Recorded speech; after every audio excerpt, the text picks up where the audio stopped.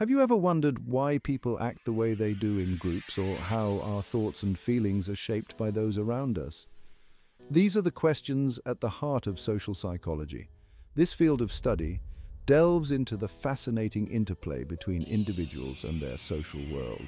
Throughout this comprehensive course, we will embark on a journey to unravel the complexities of human social behavior. We will explore how our perceptions, attitudes and actions are influenced by the social tapestry of our lives. From the subtle ways we conform to group norms to the powerful influence of authority figures, we will uncover the hidden forces that shape our social reality. Join me as we delve into the captivating realm of social psychology and gain a deeper understanding of ourselves and the world around us. The social psychology, at its core, is the scientific study of how individuals think, feel and behave in social situations. It examines the dynamic relationship between individuals and their social environment, exploring how these interactions influence our thoughts, emotions and actions. By employing scientific methods, social psychologists strive to uncover the underlying principles that govern social behavior. They conduct experiments, gather data and analyze patterns to understand the complexities of human social interaction. But what sets social psychology apart from other branches of psychology? Unlike clinical psychology, which focuses on diagnosing and treating mental disorders, social psychology examines the psychological processes that are common to all individuals in social contexts. Social psychology delves into the social factors that influence our thoughts, feelings and behaviors, regardless of individual differences in personality or mental health. While cognitive psychology explores mental processes such as memory, attention and problem solving, social psychology investigates how these processes are influenced by social factors. For instance, social psychologists might study how the presence of others affects our performance on a task, or how our memories can be distorted by social pressure. By understanding these social influences, we can gain a deeper appreciation for the power of the social world in shaping our experiences. Social psychology provides a unique lens through which we can examine the complexities of human behavior in social situations. It helps us understand why we conform to group norms, why we obey authority figures, and how our attitudes are shaped by our social interactions. Through its scientific approach, social psychology provides valuable insights into the human condition. The roots of social psychology can be traced back to the late 19th century, with the work of pioneering thinkers such as Gustave Le Bon and Norman Triplett. Le Bon's study of crowd behavior laid the groundwork for understanding the dynamics of groups, while Triplett's research on social facilitation demonstrated how the presence of others can enhance performance. However, it was in the mid-20th century that social psychology truly emerged as a distinct and influential field. The horrors of World War II had a profound impact on the field, leading researchers to investigate the social and psychological factors that contribute to prejudice, obedience and aggression. This period saw the emergence of groundbreaking studies that continue to shape our understanding of human social behavior. Imagine walking into a crowded room. Instantly, you're bombarded with sights, sounds, and a whirlwind of social information. Our brains are wired to make sense of this complex social world. Social perception is the process by which we form impressions of others and interpret their behavior. It's like piecing together a puzzle using verbal and non-verbal cues to understand those around us. We pay attention to facial expressions, body language, tone of voice, and even subtle gestures. These cues provide valuable insights into people's emotions, intentions and personalities. Our survival as a social species has long depended on our ability to accurately decode these social signals. First impressions matter. Within milliseconds, we form initial judgments about others based on limited information. These judgments, while often unconscious, can have a lasting impact on our perceptions and interactions. Physical appearance, clothing choices, and even names can influence our initial impressions. However, first impressions are not always accurate. Stereotypes and biases can cloud our judgment, leading to unfair or misleading perceptions. Stereotypes are generalized beliefs about groups of people, while biases are preconceived notions that influence our attitudes and behaviors. It's essential to recognize and challenge these cognitive shortcuts to form more objective and fair impressions.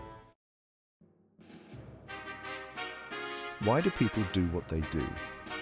Attribution theory seeks to explain how we attribute causes to our own and others' behavior. We constantly try to make sense of the world around us, seeking explanations for the actions we observe. According to this theory, we attribute behavior to either internal or external factors. Internal attributions focus on personal traits, abilities, or dispositions. For example, we might attribute a colleague's success to their intelligence or work ethic. On the other hand, external attributions emphasize situational factors such as luck, social pressure, or environmental influences. Section 4. Navigating biases in our judgments. While attribution theory provides a framework for understanding how we explain behavior, our judgments are not always free from bias. The fundamental attribution error, a pervasive bias, describes our tendency to overemphasize internal factors when explaining others' behavior while underestimating the role of situational influences. For instance, if someone cuts us off in traffic, we're more likely to assume they're a reckless driver than to consider external factors like a medical emergency. Interestingly, when it comes to explaining our own behavior, we often exhibit a self-serving bias. We tend to attribute our successes to internal factors, such as our abilities or efforts, while blaming our failures on external circumstances, protecting our self-esteem. Understanding these biases is crucial for developing more accurate and empathetic social perceptions.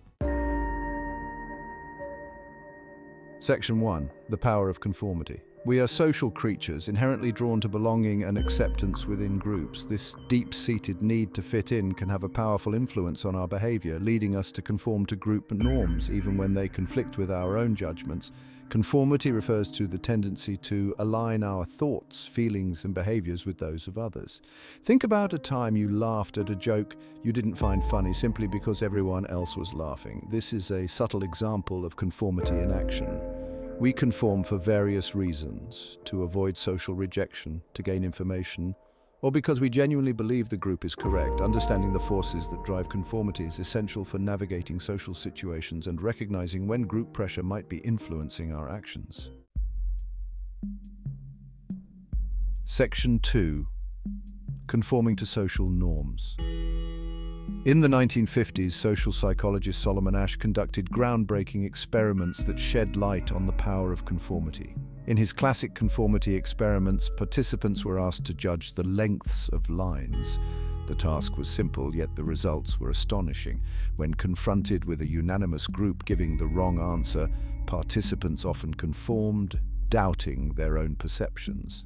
Asch's research revealed that conformity is more likely when the group is unanimous, when the task is ambiguous, and when individuals are uncertain of their own judgments. These findings highlight the profound influence of social pressure on our thoughts and behaviors, even in straightforward situations. Conformity can be both beneficial and detrimental. It can promote social harmony and cooperation, but also lead to the suppression of individual thought and the acceptance of harmful norms. Section 3. Obedience to authority. Imagine being ordered to administer painful electric shocks to another person. Would you obey? This scenario might seem far-fetched, but it was the basis of a groundbreaking series of experiments.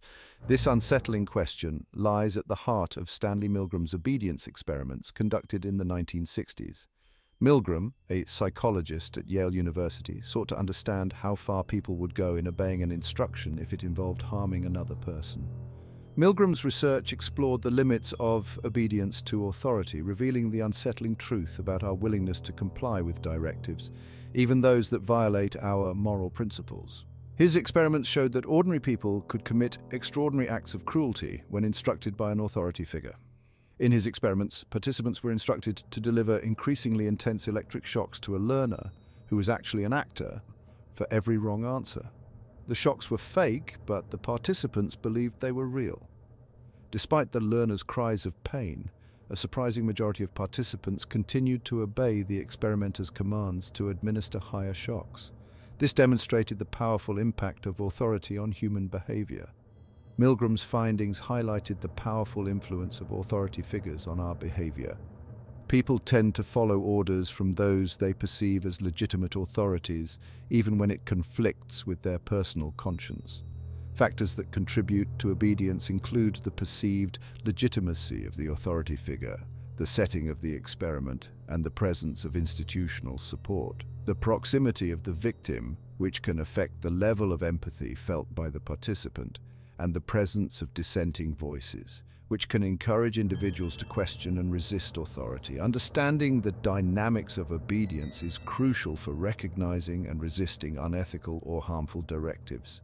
By studying these factors, we can better prepare ourselves to stand up against wrongful authority and make ethical decisions. Section 4. The Dynamics of Groupthink. Groups play a significant role in our lives, providing a sense of belonging, support and shared identity. However, group decision-making can sometimes be flawed, leading to poor judgments and negative outcomes. Groupthink is a phenomenon that occurs when the desire for group harmony overrides critical thinking and rational decision-making. In groupthink scenarios, groups may suppress dissenting opinions, overestimate their own abilities, and make risky or ill-informed decisions. Factors that contribute to groupthink include group cohesiveness, insulation from outside opinions, and directive leadership. The consequences of groupthink can be severe, ranging from poor business decisions to political scandals. By understanding the dynamics of groupthink, we can foster more critical and effective group decision-making processes, encouraging dissent, diversity of thought and open communication. Attitudes. These are our evaluations of people, objects and ideas. They color our perceptions and shape our actions. Think of them as mental shortcuts that help us navigate the complexities of the social world. But what exactly are attitudes and how do they form? Attitudes have three core components, affective, behavioral and cognitive. The affective component refers to our emotional reactions or feelings towards something. Do we feel happy, sad, angry or disgusted? The behavioral component involves our actions or tendencies to act in a certain way. Do we approach or avoid, support or oppose? Lastly, the cognitive component encompasses our thoughts, beliefs and knowledge about the attitude object. What do we think or believe about it? Our attitudes are not formed in a vacuum. They are shaped by a multitude of factors, including our upbringing, culture, personal experiences and social interactions. One powerful influence on attitude formation is social learning theory. This theory suggests that we learn attitudes by observing others, particularly those we admire or identify with, such as parents, peers or role models. When we see someone expressing a particular attitude and being rewarded for it, we are more likely to adopt that attitude ourselves. Conversely, if we observe someone being punished for an attitude, we are less likely to internalize it. Social learning plays a crucial role in shaping our attitudes from a young age. As we interact with our social world, we constantly observe and absorb attitudes from those around us. It seems logical to assume that our attitudes directly predict our behavior. After all, if we feel strongly about something, it should naturally influence the way we act, right? If we have a positive attitude towards something, we should be more likely to act favorably towards it, right? For example, if we love a particular hobby, we would spend more time engaging in it. While this seems intuitive, the relationship between attitudes and behavior is far more complex than it appears. Our actions are not always a direct reflection of our attitudes. One influential theory that explains this complex relationship is cognitive dissonance theory, proposed by Leon Festinger. This theory has been pivotal in understanding the nuances of human psychology. This theory suggests that we strive for consistency between our attitudes and our behaviors. We have an inherent desire to align our actions with our beliefs. When we hold conflicting attitudes or when our actions contradict our beliefs, we experience a state of cognitive dissonance, which is an uncomfortable feeling of psychological tension. This tension can be quite distressing and motivates us to seek resolution. To reduce this dissonance, we may change our attitudes or our behaviors to align them. This process can involve significant introspection and adjustment. For instance, if we believe in environmental protection but engage in behaviors that harm the environment, we might experience cognitive dissonance. This internal conflict can be a powerful motivator for change. To resolve this, we might change our behavior to be more eco-friendly, or we might rationalize our harmful actions, downplaying their environmental impact. This rationalization helps us to maintain a sense of internal consistency, even if it means bending our beliefs slightly. Ultimately, understanding the intricate link between attitudes and behavior can help us make more conscious decisions and foster personal growth. By recognizing the factors that influence our actions, we can strive to live more authentically and in harmony with our true values.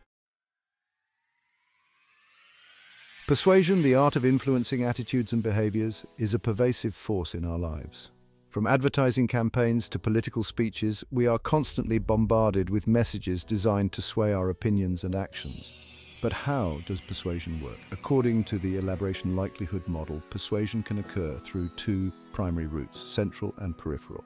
The central route relies on thoughtful consideration of the message's content and arguments. It requires effortful processing and is more likely to lead to lasting attitude change. On the other hand, the peripheral route involves focusing on superficial cues, such as the attractiveness of the speaker or the emotional appeal of the message. It requires less cognitive effort, but often results in temporary or superficial attitude change. Understanding the mechanisms of persuasion can empower us to become more discerning consumers of information, recognizing persuasive techniques and critically evaluating the messages we encounter. Social psychology is not just an academic pursuit confined to textbooks and laboratories. Its principles are woven into the fabric of our daily lives, shaping our interactions, decisions and understanding of the social world. From the subtle ways we conform to social norms to the persuasive techniques we encounter in advertising, social psychology is all around us. Think about the last time you went shopping. Did you notice how product placement or the behavior of other shoppers influenced your choices? Or consider the role of social influence in our relationships. We are more likely to befriend those who are similar to us, and our perceptions of others are often shaped by our social groups. Social psychology provides a framework for understanding these everyday phenomena, shedding light on the hidden forces that shape our social reality. By recognizing these principles in action, we can become more conscious and informed participants in our own social worlds. Marketing and politics are two domains where the principles of social psychology are harnessed to influence attitudes and behaviors on a large scale. Advertisers utilize techniques rooted in social proof, scarcity and authority to persuade consumers to purchase products or services. Political campaigns leverage social identity, framing effects and emotional appeals to sway voters' opinions. For instance, an advertisement might feature testimonials from satisfied customers, social proof, create a sense of urgency by highlighting limited time offers, scarcity, or enlist a celebrity endorser to enhance credibility, authority. Similarly, political campaigns often emphasize shared values and group identity to mobilize supporters, frame issues in a way that resonates with target audiences, and evoke strong emotions to create a sense of urgency or enthusiasm. By understanding the psychological principles underlying these persuasive techniques, we can become more critical consumers of marketing messages and more informed participants in the political process. Section 3. Navigating the social dynamics of leadership. Leadership, an essential aspect of social interaction, relies heavily on principles of social psychology. Effective leaders understand the importance of group dynamics, motivation and communication in inspiring and guiding others. They employ strategies to foster teamwork, resolve conflicts and create a positive and productive work environment. For example, transformational leaders inspire and motivate followers by articulating a clear vision, setting high expectations, and providing support and encouragement. They foster a sense of shared purpose and empower individuals to contribute their unique talents. On the other hand, transactional leaders focus on maintaining order and control, setting clear goals and rewarding or punishing behavior accordingly. Both leadership styles can be effective depending on the context and the needs of the group.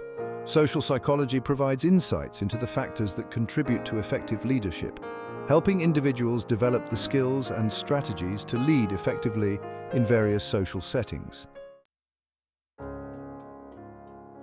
Section 4. Social Psychology in the Digital Age, Understanding Our Online Selves. The rise of the digital age, with its pervasive social media platforms and online interactions, has created new frontiers for social psychological research and application. These platforms have become integral to our daily lives, influencing how we perceive ourselves and others. Social media has fundamentally altered the way we communicate, form relationships and present ourselves to the world. The immediacy and reach of these platforms mean that our interactions are no longer confined by geographical boundaries, allowing us to connect with a global audience. From online identity management to the spread of misinformation, social psychology provides a valuable lens through which to understand the complexities of our online lives. It helps us explore how we curate our online personas and the impact of digital misinformation on public opinion and behavior. For instance, social comparison theory, which suggests that we evaluate ourselves in relation to others, has taken on new dimensions in the age of social media. The constant exposure to others' highlight reels can significantly affect our self-esteem and mental health. The curated perfection often presented on these platforms can lead to upward social comparison, making us feel inadequate or envious. This phenomenon can contribute to feelings of depression and anxiety as we constantly measure our lives against seemingly flawless portrayals. Additionally, the anonymity and reduced social cues of online interactions can disinhibit behavior, leading to increased incivility or cyberbullying. The lack of face-to-face -face interaction often emboldens individuals to say things they wouldn't in person, exacerbating online hostility. Social psychology helps us navigate these challenges by providing insights into the psychological processes underlying online behavior, promoting more mindful and responsible digital citizenship. By understanding these dynamics, we can foster healthier online communities and encourage positive digital interactions. Section 1. Key Takeaways, the Enduring Lessons of Social Psychology. As our exploration of social psychology comes to a close, Let's take a moment to reflect on the key insights we've uncovered. We've journeyed through the fascinating landscape of human social behavior, from the subtle ways we perceive and judge others to the profound influence of groups and authority figures. We've learned that our social world is not a passive backdrop, but an active force that shapes our thoughts, emotions and actions. From the power of first impressions to the dynamics of persuasion, Social psychology provides a framework for understanding the hidden forces that influence our everyday lives. Remember, we are all social animals, wired for connection, belonging and influence. By recognizing the principles of social psychology in action, we can become more conscious and informed participants in our own social world. In today's rapidly changing world marked by globalization, technological advancements and social upheaval, the insights of social psychology are more relevant than ever. As we navigate the complexities of intercultural communication, the challenges of online social interaction and the ever-evolving landscape of social influence, a deep understanding of human social behavior is essential. Social psychology equips us with the tools to understand prejudice and discrimination, to promote cooperation and conflict resolution, and to create more just and equitable societies. By embracing the principles of empathy, critical thinking and social responsibility, we can harness the power of social psychology to create a more harmonious and fulfilling social experience for ourselves and future generations. Let us venture forth with a newfound appreciation for the intricacies of human social behavior, using the lessons we've learned to navigate the complexities of our social world with greater understanding, compassion and wisdom.